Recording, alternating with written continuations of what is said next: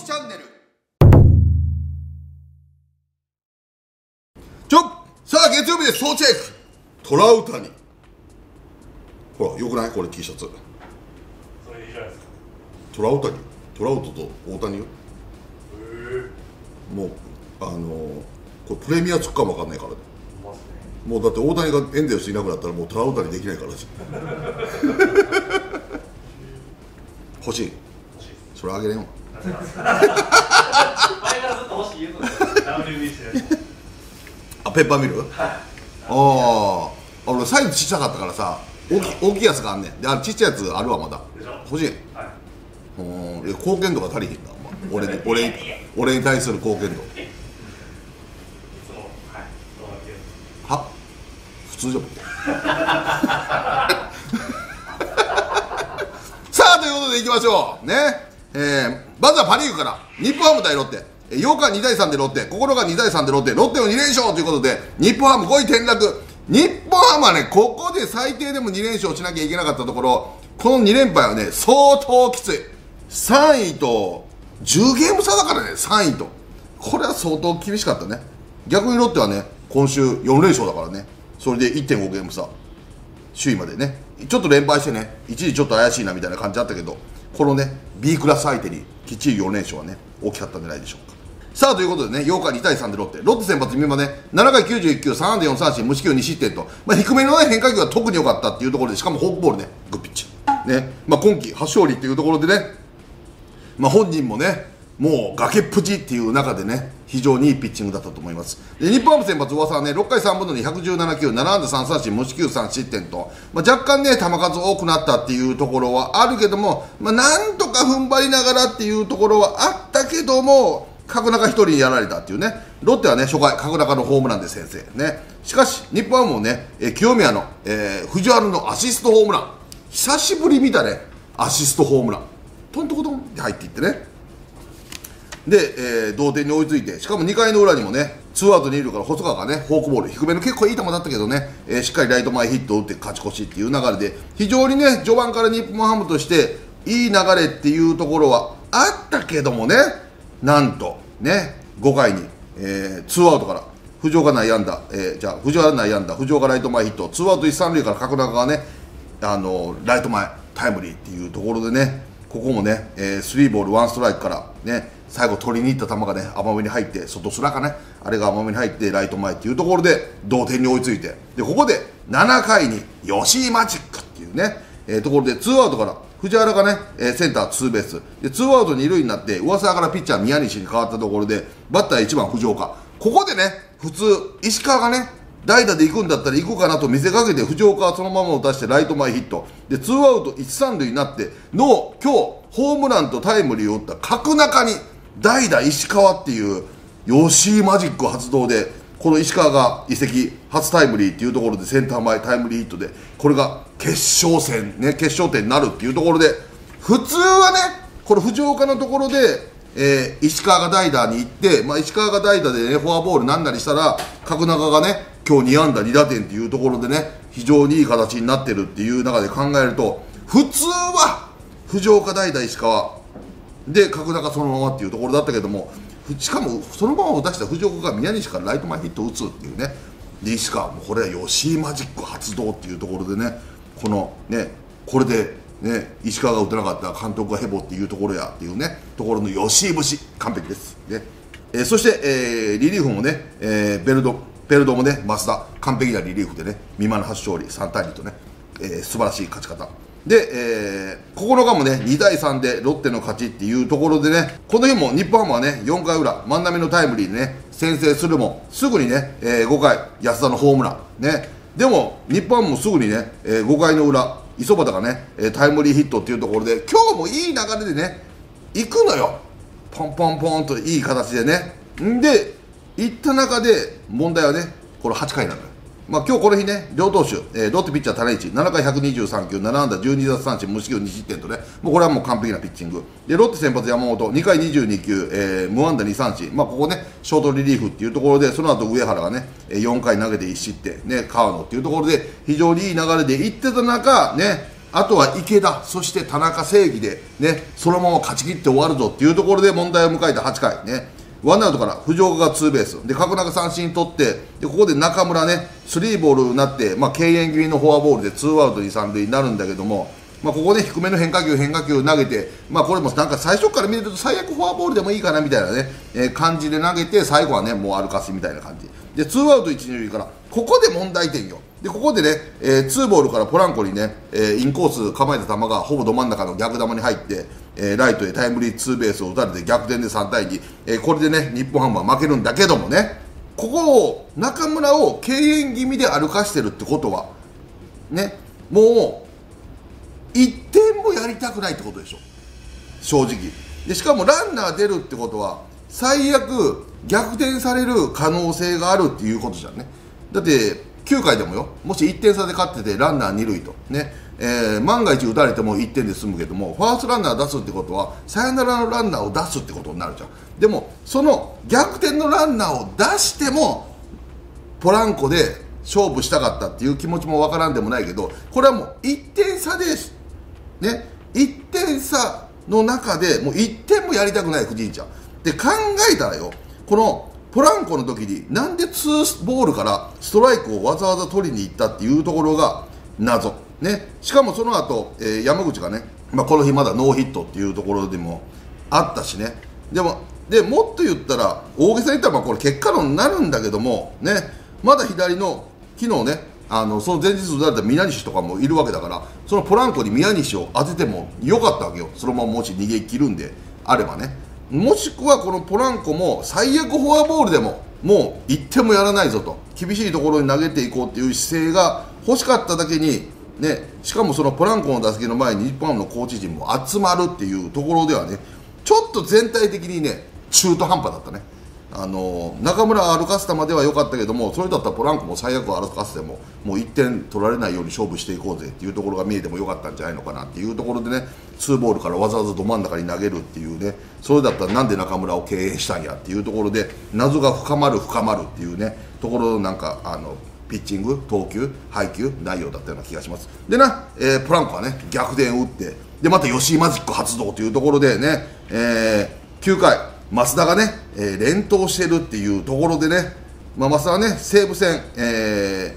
ー、に連投してで、まあ、日本ハムに来てるっていうところでね、まあ、この日本ハム時代で投げても連投じゃなかったけども、まあ、今週3試合投げて1ホールドね、えー、2セーブっていうところを投げてるっていうところでここでね1点差の中横山を出すっていうね。しかも横山が完璧に抑えて初セーブ横山君ね。これこそ吉井マジックね。連投じゃないからね増田いかすかなっていうところでねここまで1週間に3回投げてて、まあ、まだね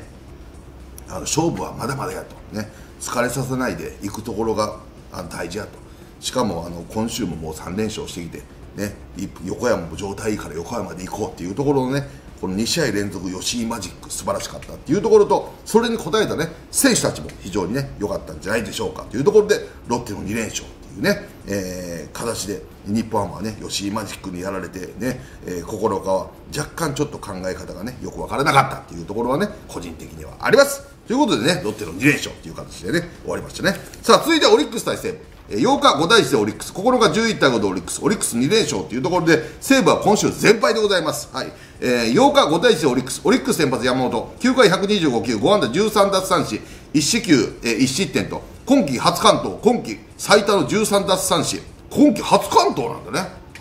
何気にねしてるかと思った時にびっくり。ね。まあその中でねもうオリックスはね序盤からいい形のね点を取って2回にねツーアウトから宗センター前杉本ツーベース。そして野口がねセンタータイムリースリーベースっていうところでこの幸先よくね2点。で3回の裏にもねワンアウトから義母がねめちゃくちゃ粘ってね11球ファールにして12球目でフォアボールっていうところででその後ね、えー、紅林がなんとツーランホームランっていうねこの義母のね粘りも良かったし中島監督で褒めてましたけどね。で紅林のホームラン。これ山本相手にも2回3回で4点って言ったらもうこれ完勝だねっていうね。中でまあ5回ねえー、中川がスリーベースで義母がね内野安打っていうところでもこうダメ押しの5点目っていうところで、まあ、なかなかね、えー、西武先発高橋コーナー5回92球7安打2三振1球5失点とねトントントンと片道でね、えー、やれたかなっていうねところもあるしこの5回でいうとねこのノーアウト3塁、まあ、結果的に点入ってたけどもねあのこうその2点目、3点目取られなくてよかったけども、この希望の内野安打ね、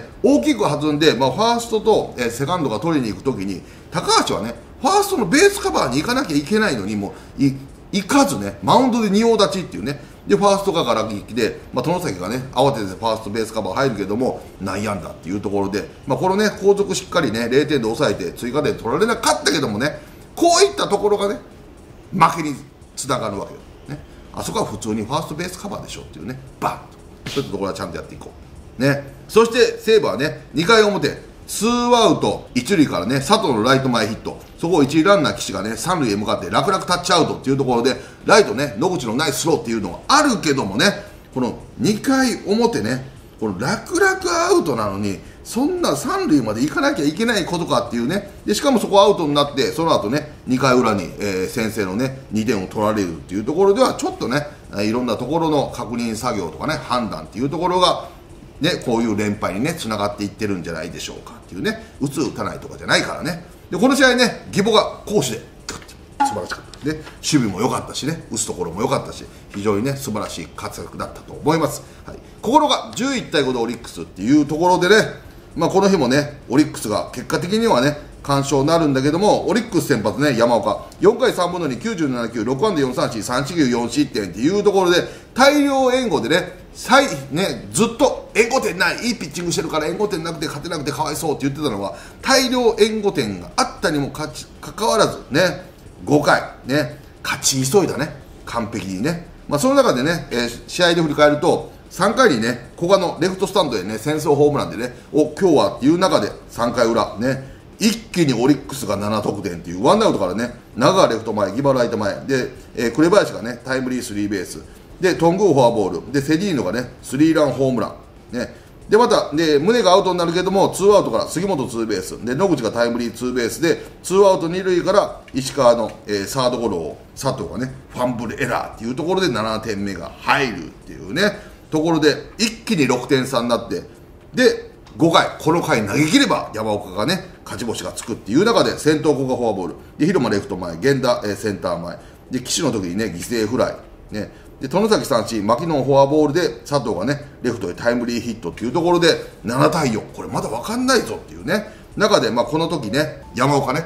若干勝ち急いでね制球が甘くなったかなと。高知がりとはね結構低めに変化球もね制球してたのにこの5回ね一気に変化球もストレートも全部高めに浮いてねそこを仕留められるっていうところではやっぱ勝ちたいっていう気持ちがね先行しすぎて早くアウトを取るためにストライク投げすぎて焦ったかなっていうね。ところは見えます。で西武はね6回表栗山がホームラン打ってね。で、えー、7対5になってこれまだね逆転あるぞっていう中で6回裏ね某高橋から佐々木に代わってね野口が、ね、ライト前ヒット。で石川送りバント失敗。バッとこういったところがね流れ大きく変わるぞっていうね中川ショートフライでこのね義母のフォアボール。これが痛かったよね佐々木としては。でここでね紅林になった時にティノコに交代。でツーアウト一塁からねサードゴロ佐藤がセカンドへ悪送球バッでそこからセディーノ胸タイムリータイムリーで一気に4点ゲームセット。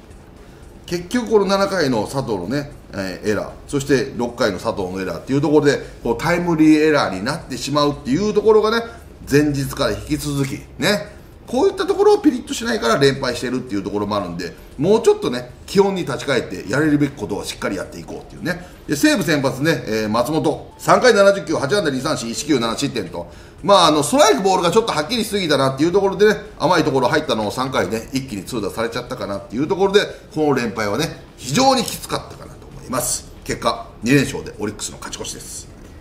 さあ続いて、えー、楽天対ソフトバンク。7日6対5で楽天、8日8対1で楽天、9日5対1で楽天、楽天が首位ソフトバンクに3連勝っていう形でソフトバンク首位陥落っていうね、えー、ところになりますけども、7日はね、6対5で楽天っていうところで、まあ、この試合はね、1、2回の攻防でね、もう明暗っていうところで、ソフトバンクはね、えー、初回、ワンアウトからね、三森ツーベース、近藤フォアボールでワンアウト一塁で、えー、好調の柳田、そして牧原とね、続く中で、柳田ショートゴロ、牧原三振というところでね、えー1点も取れず、逆に楽天はね、えーツーアウトから、えー初回、小郷フォアボール、浅村センター前ヒット、でフランコがね、センターへタイムリーヒットで、辰巳がタイムリーヒット、で伊藤がスリーランホームランで一挙に5点、ビッグイニングっていうね、2回表、ね、え2回表はね、柳町ツーベース、そして栗原センター前、ノーアウト一三塁から今宮ピッチャーゴロ、甲斐三振、中村三振というところでね、非常にチャンスを潰す、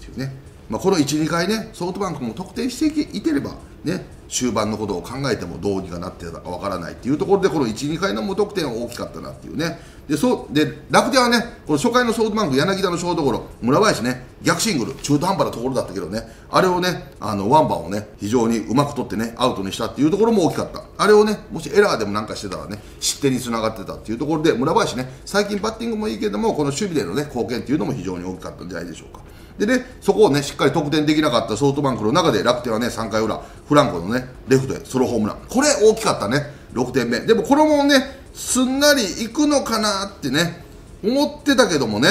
えーソフトバンクは5回、えーワンアウトから下位ツーベース、三森アウトになるけども、近藤がね、タイムリーヒットで1点返して、で、6回に、えーワンアウトからね、栗原ホームラン、で、今宮フォアボール、で、谷川原三振するけども中村三森フォアボールで近藤、柳田タイムリーで4点で一気に6対5と1点差までね追い上げるっていうところでね、まあ、この日ねソフトバンクはね先発有原7回96球8安打1三振2四球6失点とまあね序盤ね6失点しながらも7回投げたっていうところはね非常に良かったんじゃないでしょうか。で楽天先発の則本ね5回3分の2114球8安打6三振4四球5失点と、まあ、この6回の、ね、フォアボールが痛いよね。そこからポンポンポンって打たれてるからね。非常にまあ勝ち投手になったけどもったいないピッチングっていうね。でその中でソフトバンクはね9回最大のビッグイニングっていうところで、ね、ピッチャー松井裕樹が出てきて近藤レフト前柳田センター前というところでノーアウト一三塁をチャンスを作ってその中で牧原三振そして代打デスパイネがセンターフライ。これでね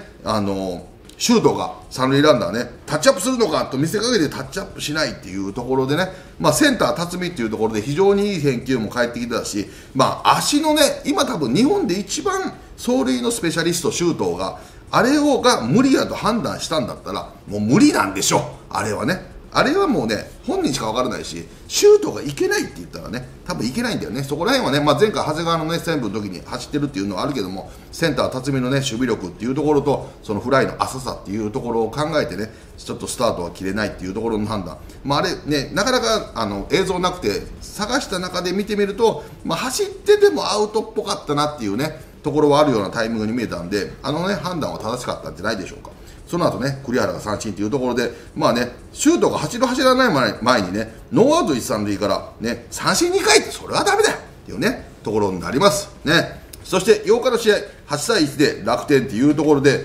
楽天先発唐島ね、えー6回3分の2 102球4安打4三振2四球1失点と非常にね変化球もしっかり低めに集めて特にチェンジアップがねグッピッチ良かったんじゃないでしょうか。でソフトバンク先発東山ね3回3分の280球6安打2三振4四球6失点と、まあ、結局フォアボールから失点っていうところでね3回裏ね9番先頭フォアボールね太田。で村林が送りバントを成功させて、えー、小深田王郷がタイムリーヒット。で浅村がアウトになるけどもフランコがね、まあ、フォアボール。で辰巳がまたタイムリーヒットっていうところで3点。で4回裏もね、えー先頭西川フォアボール。で太田が送りバントを決めて村林。で小深田がね連続ヒットの小深田タイムリー。で大郷の内野ゴロの間に1点上げてまた浅村がタイムリーっていうところで結局フォアボールからの失点につながったっていうところではねまあ、こういったところは反省点かなと。でソフトバンクは7回にね柳田がホームランを打って1点を返すもまあこれまでっていうところでね。で8回の裏にはまた村林。の、えータイムリー。で山崎剛のね、えー内野ゴロの間に1点を挙げて8対1完勝っていうところではね、まあ、川島がね素晴らしいピッチングしたっていうところとなんとねこの、えー楽天はね、1番村林4打数2安打1打点。で2番小深田5打数3安打2打点。で3番小郷、ね、4打数1安打2打点、ね、っていうところでこの1、2、3番のね大活躍っていうところは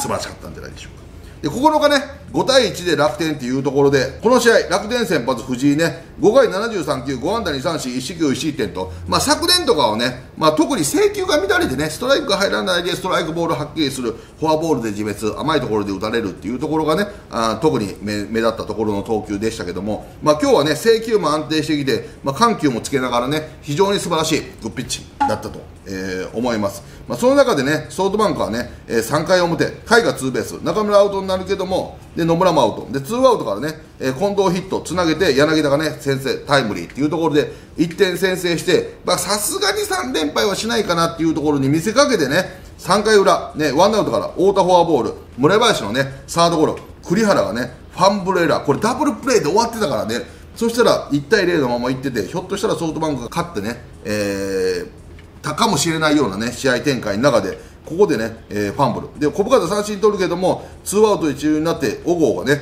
ライト前タイムリー。そして浅村がスリーランホームランで一気に4対1の大逆転っていうところでこの栗原がねなんかあのー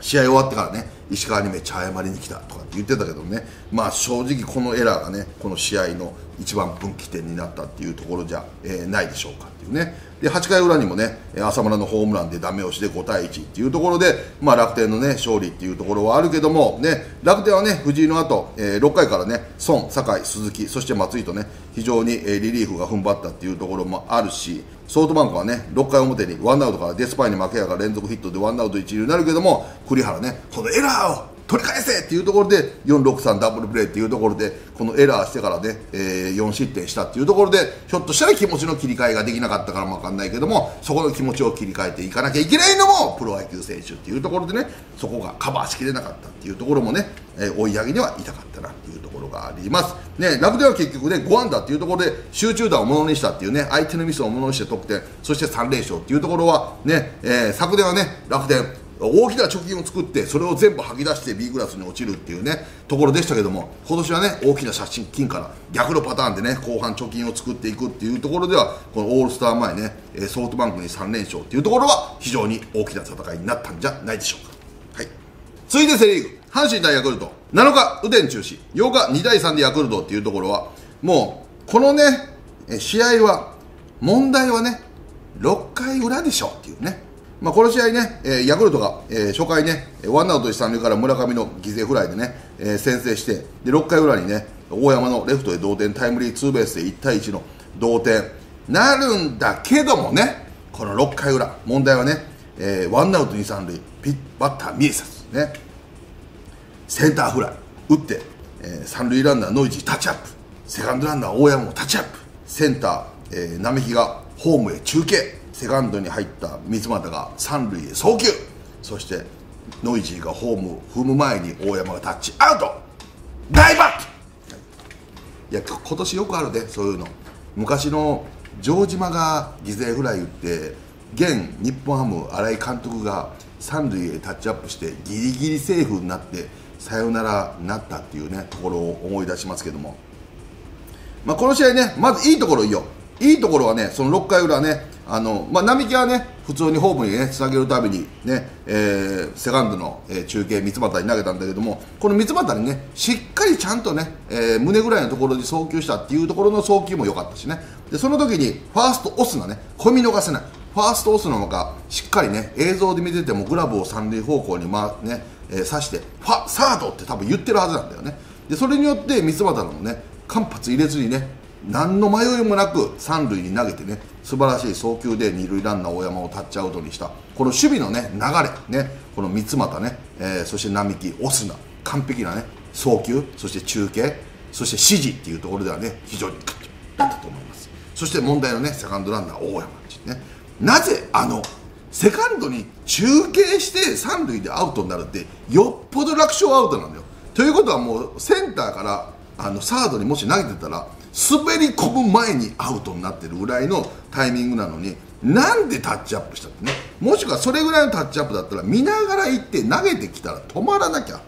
ていうねところぐらい判断が悪い。ね。ここで逆転してたらひょっとしたら勝ってたかもわかんないからね。非常に最悪バットでございます。ね。でヤクルトはね同点に追いつかれたらすぐ7回表ね。やっぱそのちょっと勢い来てるからねそれでね。アウトにしたよっしゃ逆転されなかった。わーいっていう中で先頭村上がねツーベース。でここでまたねオスナがさっきの指示と同じように渋いねファーストゴロ進塁打。完璧で三ツ俣三振するけども長岡デッドボールで中村フォアボールっていうね、まあ、ここら辺ももったいなかったけどね。で代打川端ねきっちりセンター前タイムリーヒットで逆転。ね。で9回裏に小野寺がねライトへタイムリーヒット。打つけども3対2でねヤクルトの勝ちっていうところで、まあ、ここね9回裏、まあ、結果論だけどもピッチャーね田口がマウンド上がって先頭原口フォアボール。でダイソー小畑。で梅野がねレフト前ヒット。でノーアウト木浪にねノーアウト1、2塁になって、まあ、この時点で3対1の2点差。ね。でここで、えー代打渡辺亮が行って643ダブルプレーになるんだけどもね。こう結果論だけどね皆さんちょっと考えようっていうところでここ木浪でバントで良くなかったかっていうね。木浪バントでワンアウト2、3塁。そして浜地のところで代打渡辺でもよかったんちゃうかっていうね、まあ、小野寺が打ったけどもね。それで同点を狙っていくっていうね。ところでは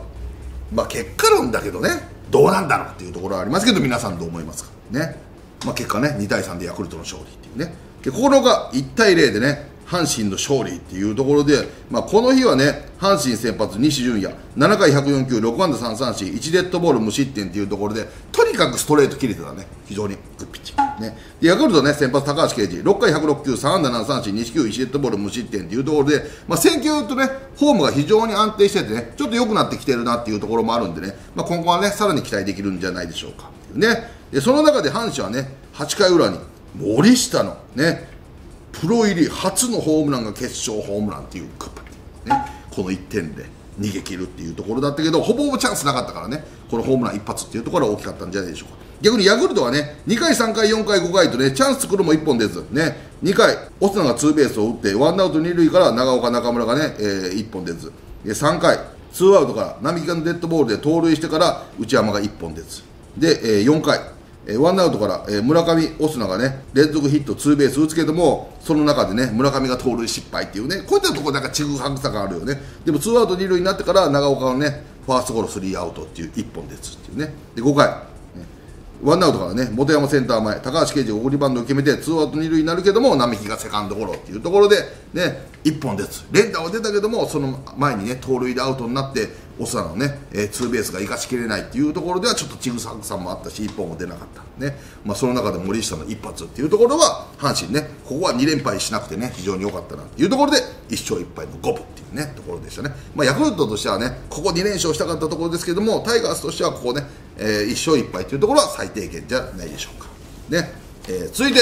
中日対広島、ね、7日8対0で中日、8日5対1で中日、そして9日2対3で広島っていうところで、中日のね、2勝1敗で勝ち越しっていうところになりましたけどもね、この試合ね、7日8対0で中日、広島先発、栗ね、5回92球、9安打2三振、2四球、えー、7失点っていうところでね、えー、まあ非常にね、大きな敗戦っていうところで、まあ、ここね、バッテリーがね、石川と細川の攻めに対してね、ちょっと非常に疑問だったなっていうところで、まあ、前のね中日対巨人の対戦の中で、まあ、石川はね外の対応が非常によくそして細川はね外の対応が非常に悪かったんだよね。まあ、俺はね中橋さんとダブル解説でね両方の試合見てましたけどもねでその中でね初回ツーアウト一塁からね石川に外のスライダーをセンター前で、えー、宇佐美がフォアボールを選んでツーアウト満塁からね、えー、初球のツーシームを細川にね2点センターへタイムリーっていうね。で3回石川にはねインコースのツーシームをサードゴロ。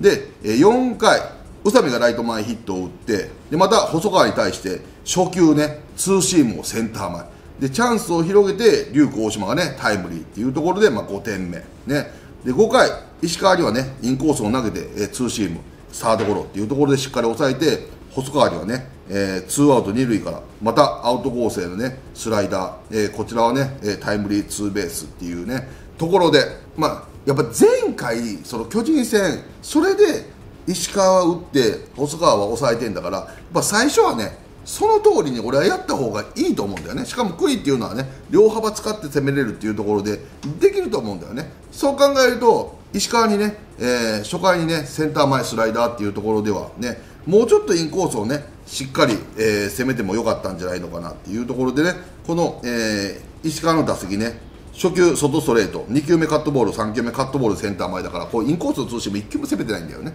そういったところではやっぱこっちを攻めないと外はいいバッティングするっていうところは巨人戦出てたんだからね。でその後もね細川に対しても初球ねツーシームをセンター前詰まりながらっていうところでねこの巨人戦外のスライダーとか変化球、ま、全くカラッカラだったわけよ。それをねあの1球も投げないで初球からツーシームいってセンター前打たれるっていうのはちょっと謎だね。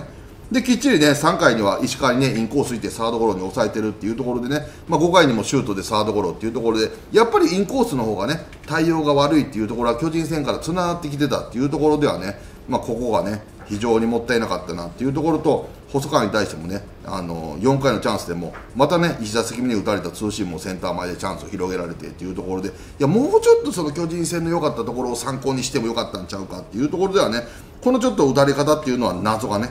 えー残ったっていうところでね。でやっぱあの広島はね初回菊池がツーベース野間バントがねこれ1号タッチアウトになってこれ阪神戦同様ねチャンスをねバントで1点ずつ取っていこうっていうところでねまあ、これは正直ね初回のこのミスっていうのは痛かったかなっていうね。で小笠原ね9回102球3で4三振2球無失点と完封非常にグッピッチだったと思います。で8日ね5対1で中日っていうところで中日先発メヒアね6回78球5安打3三振1球1失点と、まあ、ストライク先行でねまとまった投球が勝ちへつながったんじゃないのかなっていうね。でまっすぐスライダーナックルカーブ、えースプリットっていうところで非常に安定してたなっていうピッチングに見えました、ね、しかも低めにねしっかり投げれたっていうところは良かったんじゃ、えーないでしょうか、ね、で広島先発大瀬良ね。7回111球6安打3三振3四球3失点と、まあ、栗大瀬良を立てて2連敗っていうのは広島は痛かったかなっていうね、まあ、その中でね広島はね、えー4回、ワンアウト一塁からね、松山のセンタータイムリーツーベースっていうところで、1点先制してね、よ、このまま大瀬良でいこうっていう中で、えー6回裏ね、先頭小林フォアボール。大島がね、粘って粘ってして、レフトにタイムリーツーベース、打つんだけども、ね、これレフト西川ね、ちょっと軽くないかっていうね、ポーンみたいな。最悪止め取れないとは思うけど最悪あのワンパンとかで止めてたら、まあ、岡林は多分ねホームまで帰ってこなかったと思うんだよね、まあ、ここでね岡林がホームまで帰ってで、えー大島がツーベースっていうところでねもしこれ止めてたら1、3塁になってたと思うんだよね。でその後ね細川サードゴロでビシエドねライト前勝ち越しタイムリーっていうところで若干どうなんやろうって個人的には、え思います、ね、で、えー7回にワンアウトにしてからね代打後藤がセンターへ犠牲フライ。で8回に、えービシエドそして高橋がね、えータイムリーっていうところで、ね、終盤に大逆転で5対1っていうところでは中日はね最高に大きい勝ち方、ね、でビシエドがタイムリーで出したらねちょっとドラゴンズの打線はねつながって怖くなるぞっていうね、えーところ。でカープはね、まあ、細かいけどねこの5回、ね、1点取った後の5回、ね、小園センター前ヒット。で大瀬良がね送りバント失敗っていうところでねこのいうところちゃんとしとけばねこの1点もう1回ね取れた可能性もある中でね細かいけどねこういうので流れが悪くなるっていうところもあるんでしっかり決めたかったね。で9日2対3で広島の勝利っていう、えーところでね広瀬も先発森ね。5回66球5安打5三振無四球1失点と、まあ、ストライク先行でね低めにま、えー、っすぐチェンジアップ緩急もつけて非常に素晴らしいピッチングだったと思います。で中日先発枠井5回88球6安打3三振1球3失点と、まあ、これね3回のね、えー、ツーアウト一塁から西川のね高めのストレートね上からパーンいかれてねスリーランホームラン、まあ、この1本でやられたっていう感じだけどもね。でもドラゴンズもね5回裏代打福田がねライトスタンドへホームランっていうところでね、えー福田ね信正です。はい。福田信正です。ホームラン。グッドバッツはい。ね。で、えー7回裏、ね、ツーアウト二塁から代打高橋レフトタイムリーヒットっていうところで、まあ、ドラゴンズねちょっと代打成功率が低かったんだけどもここに来てね代打の成功率がね非常に上がってきたっていうところではねあの作戦もいろいろ幅広げてねチャンスも拡大できるっていうところでは非常にいい機構その中でねもう問題はねこの9回裏よ。ね。中日の攻撃、えー広島のピッチャー矢崎ね、えー石川がツーベースで出ましたと。宇佐美が送りバントを決めてワンアウト三塁で福永ライトフライこれタッチアップできず。でツーアウト三塁がリュークショートゴロスリーアウトっていうところでまあねあのなんで大島代打出さないんやっていうね、まあ、このリュークの後にね大島が代打でね、えー準備してたっていうところもあるんでね。なんで大島代打出さないんやっていうところでまあここね、まあ、いろんなことが考えられるんだけどもまあ多分敬遠っていうのは絶対ないと思うんだよ。誰を出したところで。なぜかっていうと敬遠出し敬遠しちゃうとランナー一三塁になっても結局盗塁して二三塁になっちゃうんだよね。そうなってくると同点だったら最悪延長戦あるけどサヨナラっていうところを考えたら、まあ、ここでね福永のところに大島を出しても多分敬遠っていうのはほぼほぼ高い確率でなかったと思うんだよね。で、まあ、ここではね2つの見通しがあるんだけども1つもうドラゴンズはもう今年は諦めたと。ね。で来年に向けて若手育成やと。底上げやと。いろいろやつにチャンスを広げて、ね、育成も込みでまあいけたらいけたで A クラス行きたいよと。でもそんなことよりも来季に向けてやってますって言うんだったら俺はこのまま福永でも良かったと思うんだよ。龍空でもね。経験を積ませる上で。でもね。福永今週ノーヒットなんだよ。1本もヒット打ってないわけ。っていうところでは前半の福永と違うわけ。今若干迷いもあるっていうところでいやまだ諦めてないぞと。こっから大逆襲やと。シーズンまで半分あるじゃないかと。何が諦めてんだよ。ふざけんじゃねえよ。だったらここのね、このしかも広島の、土日の試合7、8と大島は2安打2安打打ってて絶好調なわけよ。調子自体は。ってなった時に三塁ランナーはねダイソーで村松が出てきてるわけ。で考えたら大島ね、まあ、バットに当てるのがうまい、まあ、三振もあるけども、ね、三振ないと考えた時にね。ギャンブルスタートのホームもあるわけじゃん。ね。で考えたらよ。でしかももう大島が完全に休養日で、ね、何もしないって言うんだったら分かるけども代打の準備してるんだったら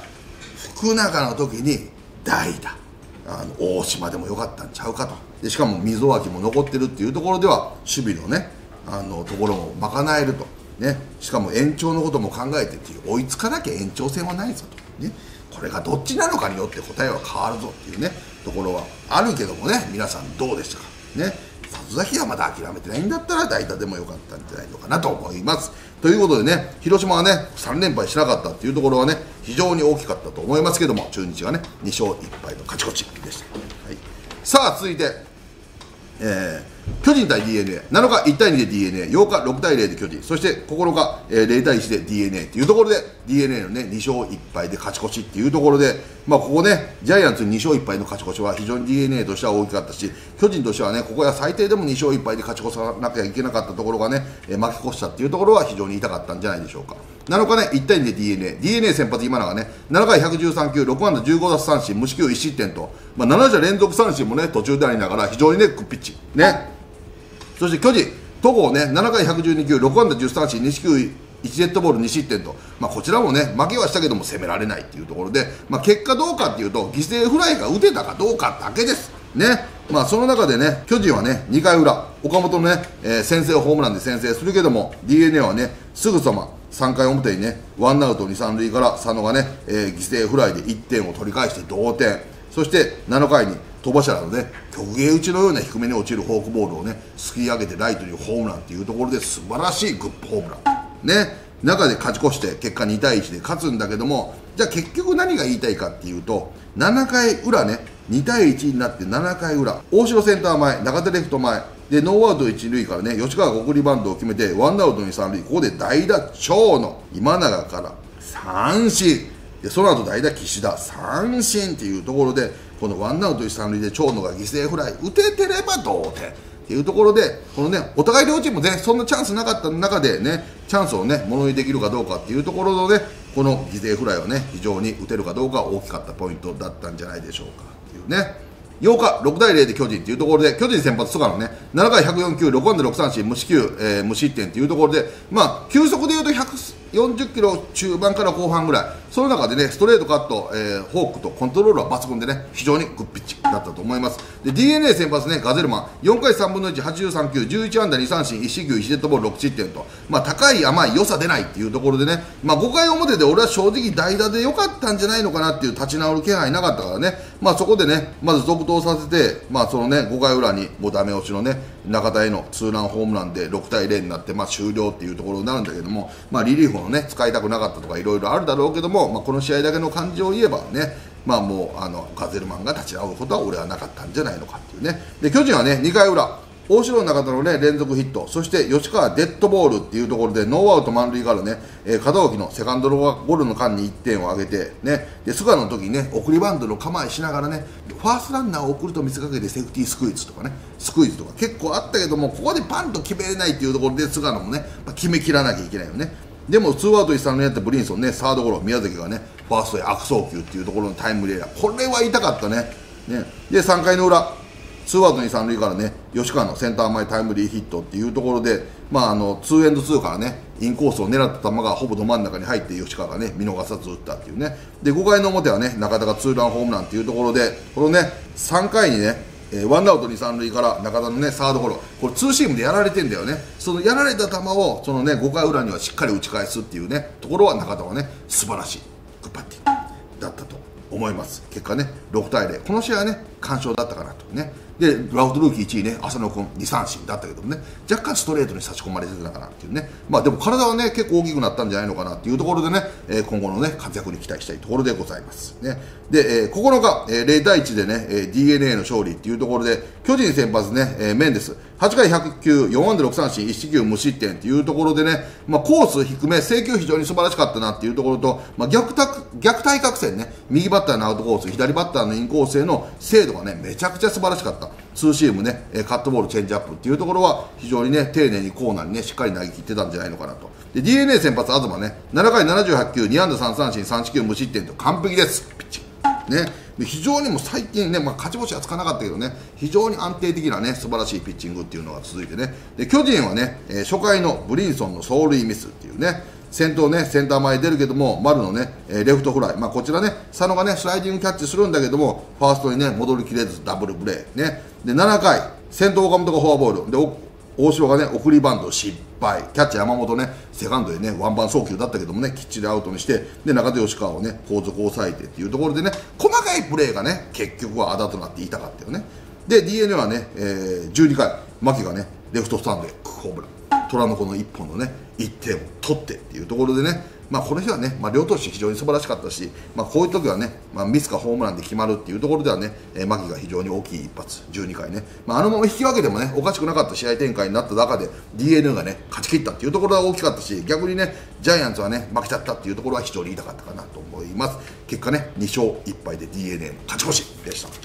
た。はい。さあ、最後にベストナイン発表していきましょう。はい。まずはパ・リーグから、ピッチャー、ロッテ、佐々木朗希、連敗はしないよ。ね。で、キャッチャー、オリックス、若月、ヤングムーン。はい。